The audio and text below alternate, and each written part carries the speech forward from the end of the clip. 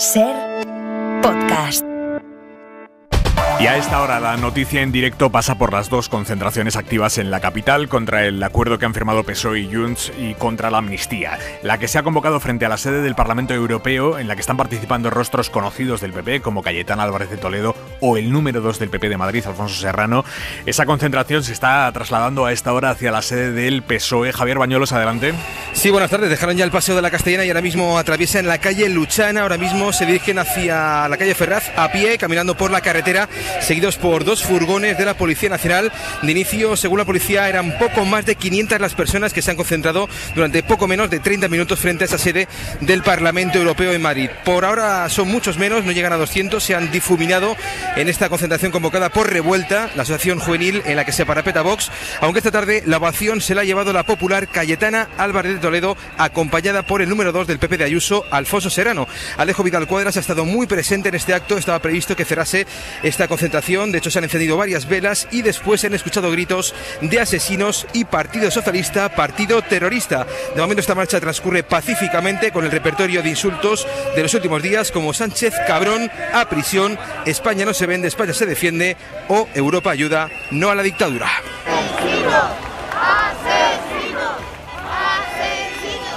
Y a esta hora vuelven a concentrarse centenares de personas también en Ferraz frente a la sede del PSOE. Allí ha vuelto Santiago Abascal, que hoy ha llamado a la resistencia civil y dice que asume que esto termina o con Sánchez en el banquillo o con ellos en la cárcel. Alfonso Ojea Ferraz, buenas tardes. ¿Qué tal? Buenas tardes. En efecto, ha sido llegar a Bascal y todo se ha animado. Podéis escuchar el griterío. Hay ya más gente que ayer hasta ahora. Ya se ha superado esa cifra de hace media hora de 1.300 personas. Estaremos cerca de los 2.000. Todos esperan y lo dicen a que los que están concentrados, como nos decía Javier Bañuelos, ante la sede del Parlamento Europeo en la Castellana de Madrid, vengan para acá. Por el momento no hay tensión, tranquilidad, muchísimas banderas y atención, muchísimas banderas también en los balcones de los alrededores, que era cosa que no habíamos visto, un dato que no habíamos, una imagen que no habíamos, habíamos visto en las últimas horas. Datos policiales en estos momentos, Aymar. 500 ultraderechistas radicales ya identificados por la Brigada Provincial de Información. No todos estuvieron aquí, ni mucho menos. El martes el martes hubo detenciones y el resto de información que tenía Alfonso Gea, que siempre es buena, nos la va a contar ahora mismo.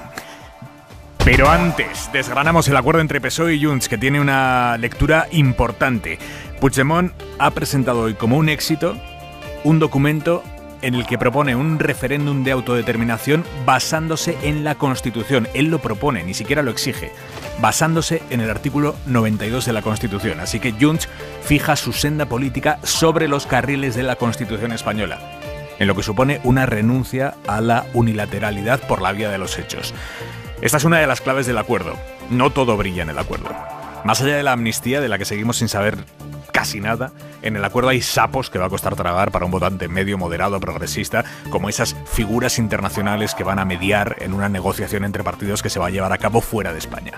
Ahora entramos en ello, pero con permiso del acuerdo PSOE-Junts, la noticia que ha atravesado este jueves es el intento de asesinato a Alejo Vidal Cuadras, expresidente del PP catalán, fundador de Vox. Le han disparado ya media en la cara a su salida de casa en el centro de Madrid. La vida de Vidal Cuadras no corre peligro, y de hecho ha sido él mismo quien le ha dicho a la policía que este intento de asesinato está relacionado con sus vínculos con la oposición al régimen iraní.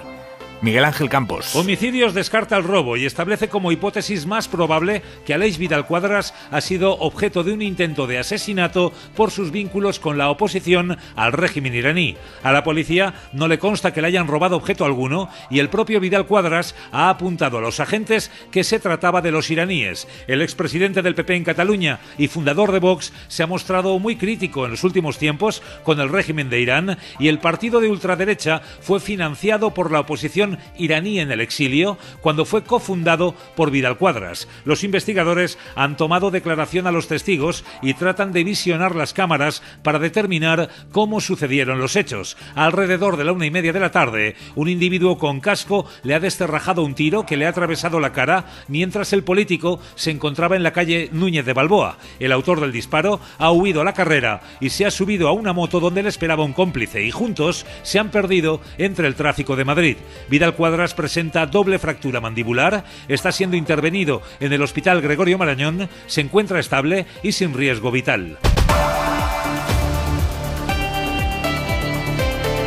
Jueves 9 de noviembre, el tiempo Jordi Carbón. Buenas tardes. Tanto las próximas horas como los próximos días, la lluvia afectará sobre todo Galicia y a ratos el Cantábrico, más difícil en el resto del país, o como mínimo no caerá de manera destacable, y con temperaturas de aumento mañana sin grandes cambios respecto a las de hoy, a primeras horas de la mañana un poco de frío, tampoco demasiado, las máximas en la mayor parte del país entre los 15 y los 20 grados, pero sí que más adelante, especialmente a partir del fin de semana, durante las tardes las temperaturas van a subir de manera muy apreciable. Además, los próximos días a ratos el viento para Fuerte de Poniente. Hay media hora 25 Deportes Gallego. Buenas tardes. Buenas tardes. El Atlético de Madrid acaba de anunciar la renovación del contrato de su entrenador, el Cholo Simeone, que firma, prolonga su contrato con el Atlético hasta el año 2027. Y tenemos Europa League en juego ahora mismo. El Villarreal está perdiendo un gol a cero ante el Maccabi de Haifa, partido que se juega en Chipre. Y a las 9 jugará el Betis con el Aris Limasol. Empieza ahora 25. Desgranando el acuerdo entre el PSOE y Junts para desbloquear la investidura de Pedro Sánchez. Todavía falta el pacto con el PNV, pero conseguir el sí de Junts era el gran escollo para los partidos del gobierno y ya lo tienen. El precio alto es la amnistía, cosa que ya pactaron también con Esquerra, y el precio es un mecanismo también de figuras internacionales que van a actuar como mediadoras en la mesa de diálogo que constituirán con Junts. El PSOE insiste en que lo de hoy es un acuerdo que garantiza la legislatura. Eso ha dicho Santos Cerdán, secretario de organización del PSOE. A pesar de las profundas divergencias, estamos preparados para abrir una nueva etapa histórica. La oportunidad es real y la voluntad también. El acuerdo no es un acuerdo de investidura, es un acuerdo de legislatura entre dos partidos como es el Partido Socialista y Junts per Catalunya. Hemos hablado de dar estabilidad a la legislatura de cuatro años. Pero Puigdemont, que ha comparecido justo después, dice que eso de la legislatura habrá que verlo, que todo depende de si se avanza en los acuerdos. Allò que ens donarà unes garanties que fins ara no existien, lo que nos dará unas garantías que hasta ahora no existían es también el acuerdo por el que se condiciona la estabilidad de la legislatura a los avances y cumplimientos de los acuerdos a los que se llegue a lo largo del proceso de negociación. Repito el concepto, avances. No solo el cumplimiento, sino los avances. No puede ser que no pase res. Se ha de avanzar, no puede ser que no pase nada.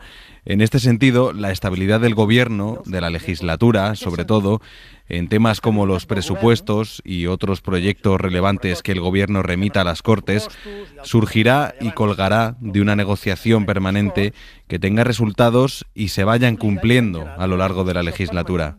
De manera que, a diferencia de la legislatura pasada, cuando el gobierno de Pedro Sánchez empezó con la estabilidad garantizada en el bolsillo, aquí se la tendrá que ganar acuerdo a acuerdo.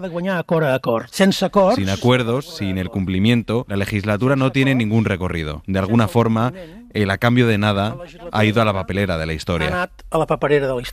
Esto es lo que dice Puigdemont y no otra cosa. Jefa de política de la Serima Carretero, buenas tardes. ¿Qué tal? Buenas tardes. Vamos a lo concreto, a desgranar el contenido de ese acuerdo que certifica que seis años después del otoño de ruptura independentista, Junts se suma a Esquerra en la senda de negociación con el gobierno central. Es fundamental eso que mencionábamos en la portada, Inma, de que Puigdemont asume que sus eh, ansias independentistas de autodeterminación las va a canalizar a través de la Constitución. Y luego ahí recibirá la respuesta que tenga que recibir, el sí o el no, probablemente el no, pero lo va a canalizar a través de la Constitución. Esta es la clave. La otra clave de lo que hemos conocido hoy es el verificador. En el acuerdo con Esquerra ya se hablaba de ese verificador, pero lo firmado hoy con Junts va un pasito más allá porque dicen, eh, especifican que va a ser figuras internacionales. Sí, esa era la exigencia de Puigdemont, que fuera un mediador internacional. Las funciones que le atribuye el documento pactado son las de acompañar, verificar y realizar seguimiento de la negociación y de los acuerdos entre ambas formaciones y pactan que las conversaciones empiecen ya en el mes de noviembre. Acuerdan, lo más importante, la amnistía de la que se beneficiarán los responsables y ciudadanos vinculados por hechos que se produjeron antes y después de la consulta de 2014 y del referéndum de 2017 eso es lo que dice el documento. Según Santos Cerdán, el secretario de organización del PSOE, el periodo de vigencia comenzaría un año antes de lo que se venía manejando, en 2012. A los que cubres, a la gente que ha estado relacionada con el proceso, desde sus inicios hasta, hasta la fecha de hoy que, o ayer que cerramos el acuerdo, ¿no? esta noche, desde el 2012 a 2023. A partir de ahí tenemos que ver qué sucede con, con todos los demás. No somos nosotros, serán los jueces los que valoren si cubre a unos o a otros. No se ha hablado de nombres en particular, sino del proceso. La novedad más polémica del documento es la referencia al lawfare, a la supuesta guerra sucia judicial contra el independentismo. Dice el texto que se tendrán en cuenta en la aplicación de la ley las conclusiones de las comisiones de investigación que se constituyan en el Congreso sobre este asunto. Por ahora no se han constituido y serán los jueces quienes decidirán en cada caso. Eso ha subrayado Santos Cerdán. Sobre el asunto del verificador internacional se ha recreado bastante de Puigdemont, dejando muy claro que bueno, todo lo que desconfía de España y demás, y que por eso siempre, siempre, siempre estará ese mediador. Una tercera part que sigui present sempre en les converses. Una tercera parte que esté presente siempre en las conversaciones, que acompañe siempre al proceso negociador y que verifique siempre el cumplimiento de los compromisos de las otras dos partes. Naturalmente, si es un mecanismo independiente, no puede ser ni catalán ni español y por lo tanto tiene que ser internacional. Y si tienen que ser negociaciones de las que yo pienso formar parte, no se podrán desarrollar en el Estado español. I si han de ser negociacions en les quals jo penso prendre part, no es podran desenvolupar a l'estat espanyol. Así que un grupo de españoles se va a mediar por un mediador internacional en conversaciones fuera de España acerca del futuro político de parte de España. Esto esto, esto tampoco está mal, eh, de lo que se ha pactado hoy. Más allá de, de este asunto, eh, el, el, tema del referéndum misma, se ha escrito hoy de todo, se ha dicho hoy de todo, no se ha pactado que vaya a haber un referéndum, uh -huh. eso uno coge el texto y claramente no está pactado que vaya a haber un referéndum. Lo que dice Junts es que ellos van a proponer el referéndum y que lo van a proponer, insisto, dentro de las vías de la Constitución. Sí, hay que leer el, el documento porque ahí PSOE y Junts dejan constancia por escrito de sus diferencias. En el caso del 1 de octubre fijan posiciones radicalmente opuestas. Junts considera legítimo el 1 de octubre. El PSOE le niega toda legalidad y validez y rechaza expresamente la vía unilateral. En el ámbito de la negociación acuerdan hablar del reconocimiento nacional de Cataluña y para ello Junts plantea un referéndum de autodeterminación acogiéndose al artículo 92 de la Constitución que regula un referéndum consultivo convocado por el rey, es decir, sin carácter unilateral y lo que defiende en ese punto el PSOE, según el texto, es el despliegue del Estatut de Cataluña. En materia de financiación reflejan también posiciones conocidas por de ambos partidos. Junts quiere una equiparación al cupo vasco, el PSOE no accede a nada de eso, habla de garantizar la autonomía financiera, menciona que habrá un diálogo singular sobre el impacto del actual modelo de financiación en Cataluña. Sobre esto del referéndum, Esquerra y Junts han impedido hoy que saliera adelante en el Parlamento una resolución de la CUP pidiendo una nueva ley para hacer otro referéndum de autodeterminación. Esquerra y Junts, los dos grandes partidos independentistas, se han abstenido, así que esto no ha salido adelante, que también es, es muy significativo. Además, eh, la coincidencia temporal, el hecho de que haya sucedido hoy. Esa votación ha sido minutos antes de que empezara la comparecencia de Puigdemont en Bruselas, donde, por cierto, sigue el enviado especial de la cadena ser Xavi Abelló. Xavi, buenas tardes. Hola, ¿qué tal? Buenas tardes. Ha sido una comparecencia larga, eh, con una retórica bastante inflamada, pero eh, cuando uno la desbroza, finalmente hay un Puigdemont que hace dos meses allí en Bruselas decía no renunciamos a la unilateralidad y hoy eh, explicaba que van a proponer ese referéndum dentro del marco constitucional y estatutario. Sí, exacto. Puigdemont, uh, Puigdemont que ha hablado de, de, la desconfianza que existe, dice, con el Partido Socialista, pero ha asegurado que la actual es una oportunidad histórica para abrir un camino de negociación uh, con el PSOE y con el gobierno de España, una negociación que aseguran que ellos quieren que, pueda culminar en un acuerdo histórico en el que Cataluña termine decidiendo su futuro a través de un referéndum, pero al fin y al cabo una apuesta clara por este camino de la negociación, incluso señalando la buena voluntad que ha encontrado por parte del PSOE, que ejemplifica, uh, según Puigdemont, el viraje de la actitud del expresidente. Perquè efectivament entrem en una etapa inèdita, una etapa que, que caldrà saber explorar i explotar, una etapa, el recorregut de, i ambició de la cual una etapa inédita que habrá que saber explorar, decía Puigdemont. Una de las cuestiones que más ha puesto en valor el expresidente es que a su juicio el PSOE ha asumido un cambio de relato sobre el procés con este acuerdo. El expresidente se ha recreado en el apartado, digamos, de los antecedentes de este pacto, en el que se menciona que hay reivindicaciones históricas eh, en Cataluña que vienen desde el año 1714, el decreto de nueva planta, que recuerda la sentencia eh, del Estatuto del 2010, que después vinieron mayorías independentistas y grandes manifestaciones, incluso que hubo una participación masiva en la consulta del 9N o en el 1 de octubre, a pesar de que fueran uh, anulados por el Constitucional. Para Puigdemont era una condición indispensable, dice, este cambio de retórica que pasa también por admitir que se trata de un conflicto histórico de fondo que aún no se ha resuelto.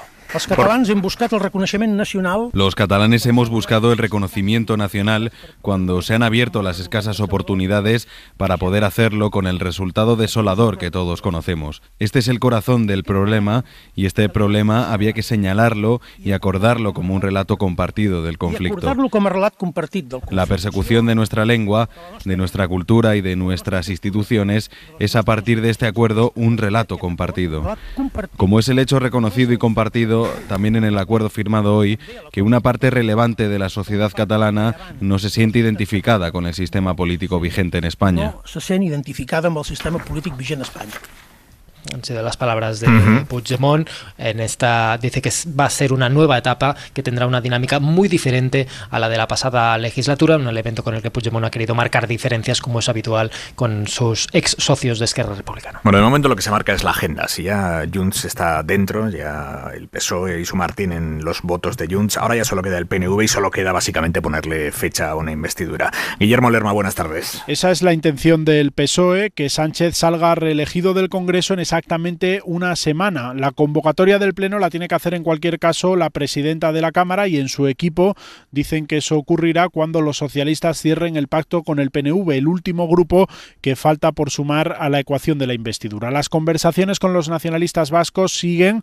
A Ferraz le gustaría firmar ese pacto mañana mismo, pero aún hay detalles por perfilar, según fuentes de la negociación, que vinculan el acuerdo al anuncio formal de la fecha. El PSOE busca dar al partido de Ortúzar foco y espacio propio, siempre lo han considerado socio preferente, y quieren mantener ese estatus a la hora de escenificar el acuerdo. Antes del debate de investidura, los grupos tienen que tener también registrada la ley de amnistía y celebrar una reunión de la mesa del Congreso para calificar la propuesta, cumpliendo así con el primer trámite parlamentario de la iniciativa. Por lo tanto, lo más probable es que la investidura sea el miércoles y jueves de la semana que viene. Eso es lo que, como nos decía Guillermo Barajan, fuentes socialistas. Mañana podrá preguntárselo a Ángels, a Félix Bolaños, que estará a las 9 en Hoy por Hoy. Y justo después estará también el vicesecretario de organización del PP, Miguel Tellado. En Hoy por Hoy con Ángels. Mañana Será una mañana intensa de, de radio.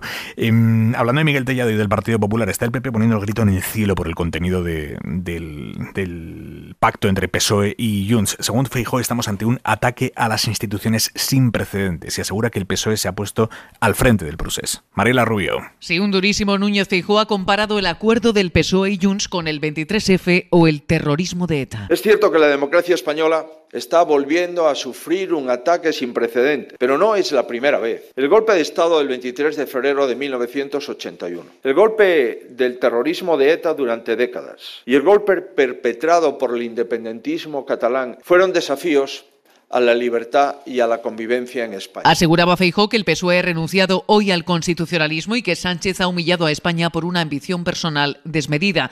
Afirmaba el líder popular que el de hoy es un hito más en la erosión planificada de la democracia y que tras la amnistía llegará sin ninguna duda el referéndum. Y la amnistía irá seguida de otras medidas que ya son posibles, como el referéndum de autodeterminación. Hoy debemos decir con toda claridad que el Partido Socialista ha enterrado su tradición constitucionalista. Hoy el Partido Socialista toma el relevo al frente del proceso.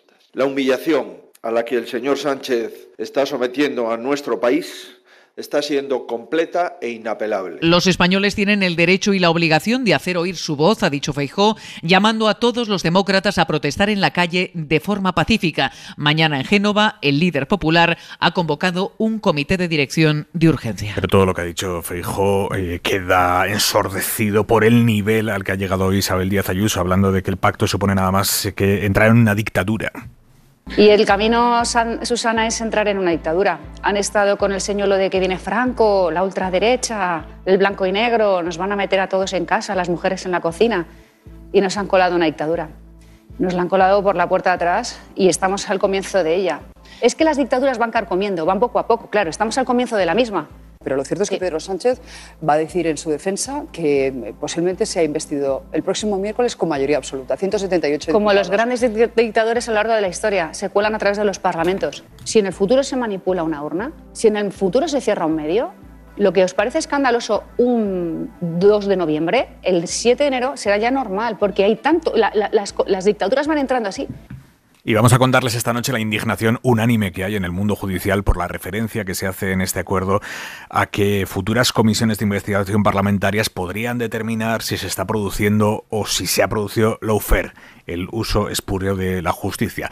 Entienden los jueces que el Poder Legislativo se arroga así la capacidad de decidir si un juez ha prevaricado o no y que eso quiebra la separación de poderes. Están todas las asociaciones judiciales indignadas, también las progresistas. Lo dicho, lo contamos esta noche en hora 25. La mirada de Xavi Vidal Folk. No es el fin del mundo, no es el fin de la democracia. Rebajen los adjetivos, que esto es política parlamentaria. Si Alberto Núñez Feijóo y sus socios de Vox hubiesen sumado, hoy ya sería presidente del gobierno y estaría fabricando leyes restrictivas de la democracia. Como quienes podían y pueden sumar son los interlocutores y saludados de Pedro Sánchez, su investidura está al alcance de la mano y fabricará leyes expansivas de la autonomía, que ahora la reacción critica mucho y mañana solicitará que se apliquen a los suyos. En principio, pues, la coalición progresista está encauzada a través de una trabajosa y delicada alianza parlamentaria múltiple. Los más difíciles eran los indepes catalanes. Habían llegado demasiado lejos en su intento de revertir el orden constitucional, un intento festoneado de penas de cárcel y de huidas al extranjero. Costaba rebobinarlo. Con Esquerra el acuerdo ha sido más fácil. No en vano apostó por el pragmatismo de gobernar la autonomía en vez de lanzar discursos épicos. Por eso ha obtenido inmediatas contraprestaciones económicas y de infraestructuras. Con Junts ha sido más no solo porque su líder Carles Puigdemont anda fuera, sino porque exageró la radicalidad y la reivindicación de la unilateralidad. Ese lo volveremos a hacer. Lo importante es que ninguno de los documentos de los pactos, a la espera del texto sobre la ley de amnistía, se sitúa fuera del marco de la Constitución y del Estatut. Al revés, ese es el marco que todos aceptan para intentar agrandarlo y lograr sus objetivos, no de sopetón en un día de investidura, sino a lo largo de toda una legislatura que se promete estable. Algunas frases historicistas y retóricas del pacto PSOE-Junts rechinan al oído, bien es verdad, pero obtendrá un regalo, un ejemplar de la Constitución, quien encuentre en esos textos algo contrario a ella. Se lo ofrece quien les habla. Para no perderte ningún episodio, síguenos en la aplicación o la web de la SER, Podium Podcast o tu plataforma de audio favorita.